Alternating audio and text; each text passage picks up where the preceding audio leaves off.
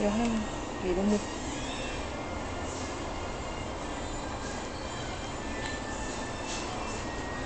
ví dụ ở hè